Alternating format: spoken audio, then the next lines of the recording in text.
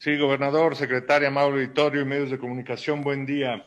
En tema vacunación, el día de ayer concluimos con la jornada para el personal por la salud y las segundas dosis de AstraZeneca. Aplicamos 58.080 dosis. También informar que eh, la próxima semana, a partir del martes 11 al jueves 13 de enero, en Puebla Capital empezaremos a aplicar la dosis de refuerzo para 50 a 59 años.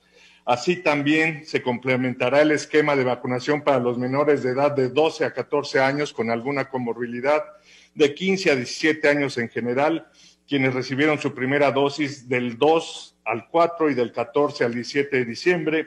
También se aplicarán segundas dosis de AstraZeneca a la población que recibió la primera dosis la última quincena de octubre del 2021 y en noviembre. Las segundas dosis de Pfizer, primeras dosis para todos los rezagados de todos los grupos etarios, primeras dosis para embarazadas menores de 18 años con nueve meses, nueve semanas, perdón, o más de gestación, las segundas dosis de Sputnik. Eh, daremos ya el comunicado oficial en el transcurso de la mañana para ver el proceso y las políticas y los lugares donde se va a aplicar el biológico. Ya